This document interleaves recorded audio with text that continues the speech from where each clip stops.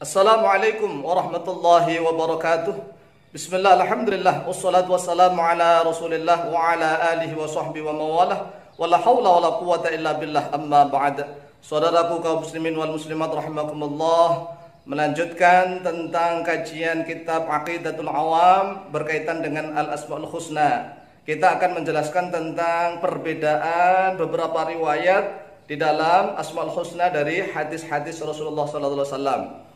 Perhatikan, di sini sudah kita tulis Al-ikhtilafu bainar riwayati fil asma'il husna minal ahadithi. Al-ikhtilafu perbedaan bainar riwayati di antara beberapa riwayat fil asma'i al-husna. Di dalam beberapa asma Allah al-husna yang baik minal ahadithi dari beberapa hadis. Ingat, ini khusus hadis bukan Al-Qur'an ya. Khusus tentang riwayat hadis.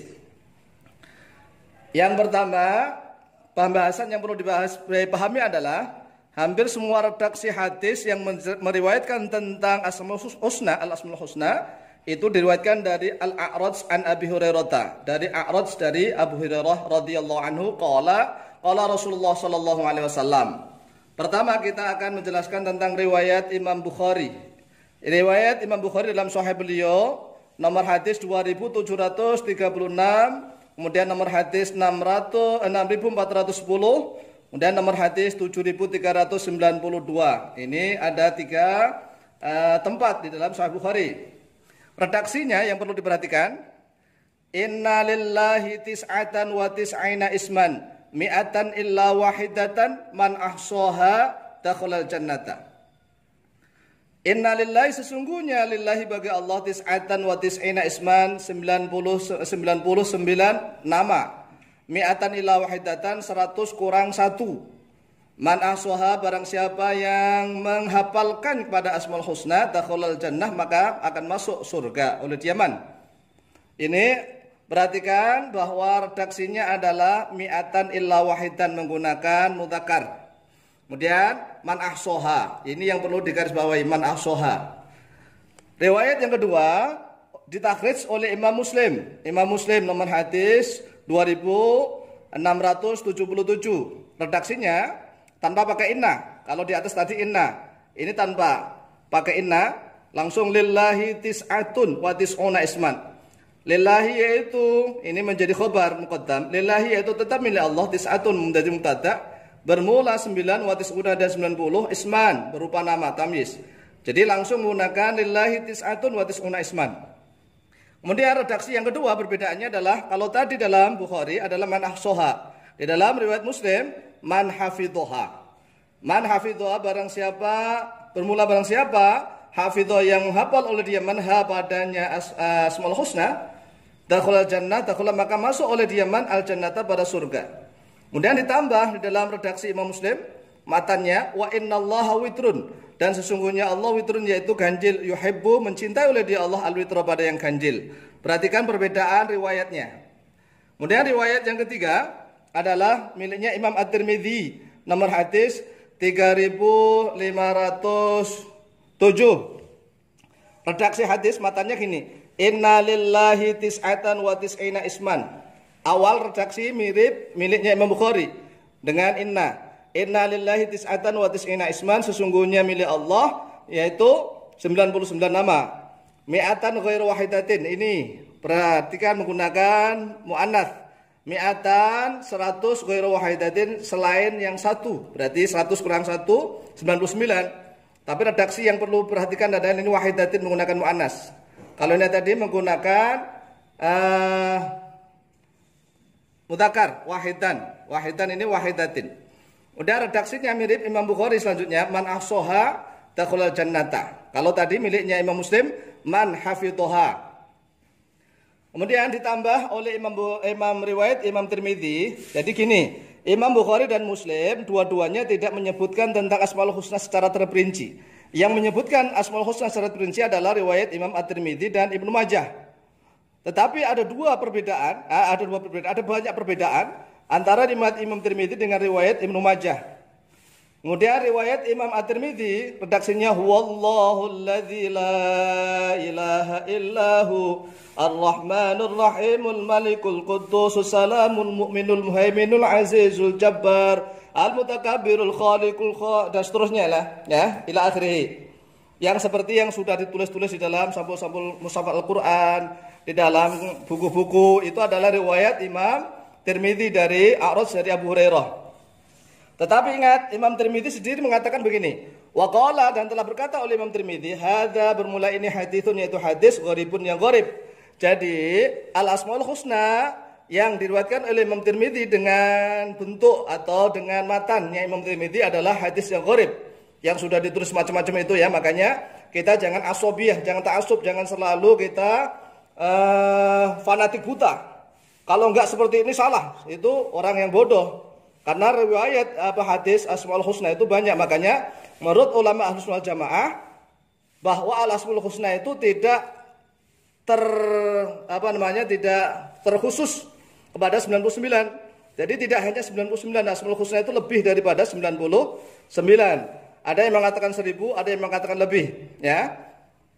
Kemudian perhatikan redaksi Ibnu Majah.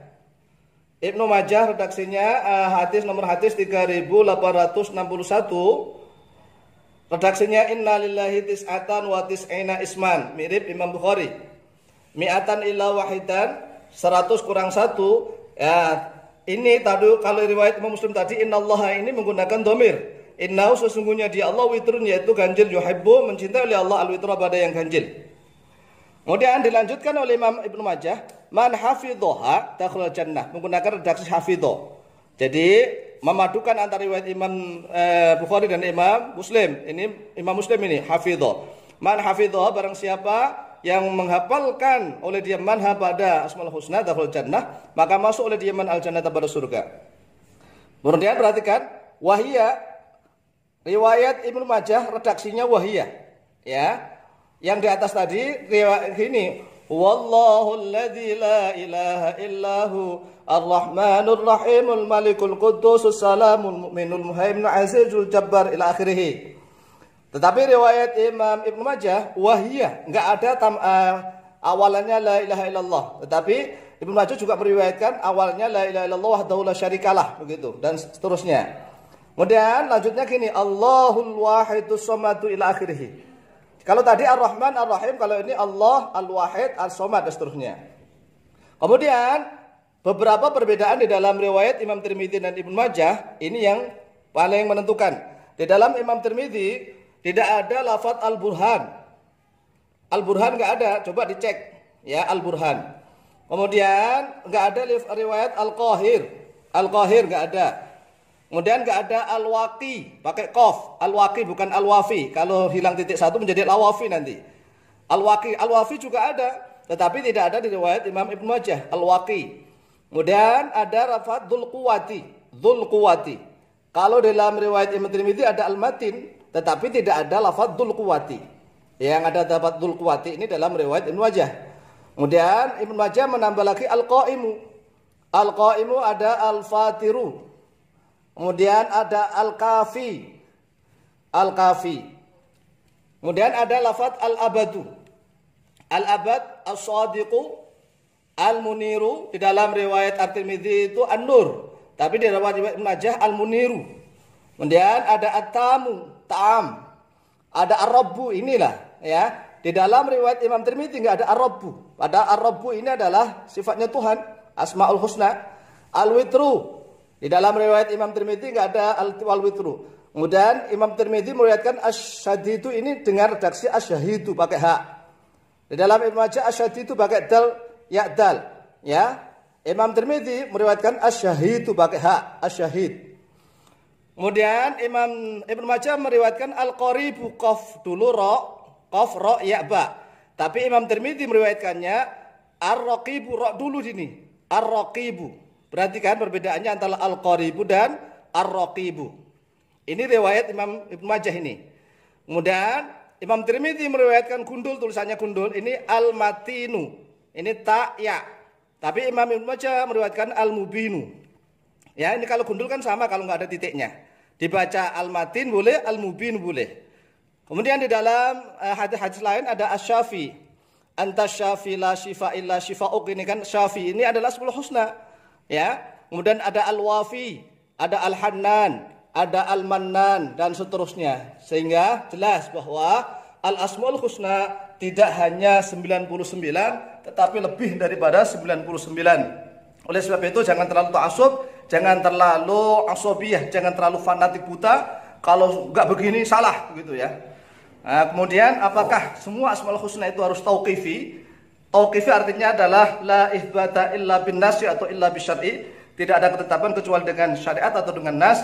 Ini nanti perbedaan para ulama. Kecuali lafzul jalalah. Kalau lafzul jalalah lafaz Allah jelas para ulama sepakat bahwa itu tauqifi. Demikian mudah-mudahan memberikan manfaat dan barakah fitin wa akhirah. Akhirul kalam wallahu muwaffiq ila Assalamualaikum warahmatullahi wabarakatuh.